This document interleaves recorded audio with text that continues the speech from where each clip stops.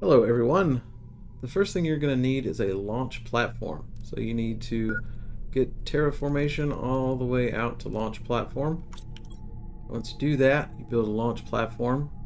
It's really not that pricey. You can get everything you need right from the ground. It might take a minute, but trust me, it is worth it.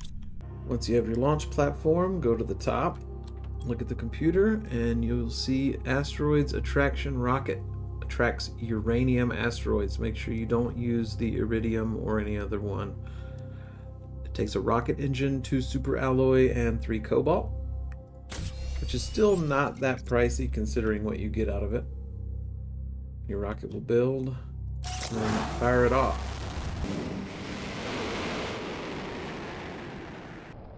Now, once your rocket goes up there, a meteor shower will happen and they will be full of uranium.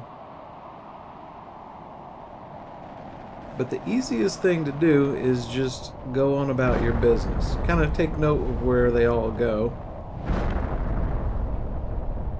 Alright, it's been about 15 minutes and the rocks have disappeared and now you can see all of these ores just ready for the picking. Just laying around everywhere. So go get them.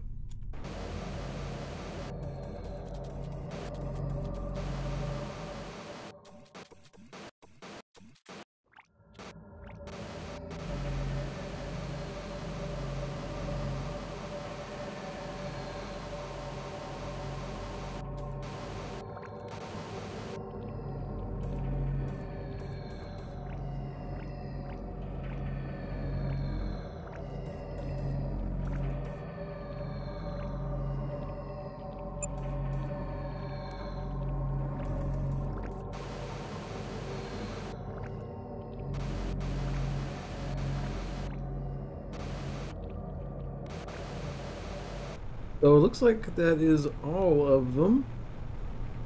I don't see any more laying around anywhere. So our total haul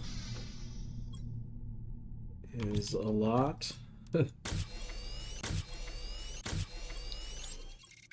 Three rods and two uranium worth. So those rockets are pretty awesome. So have fun, everybody. Good luck collecting uranium. Make sure to wear your your biosuits and anti-rad gear and all that good stuff. Take care, everybody.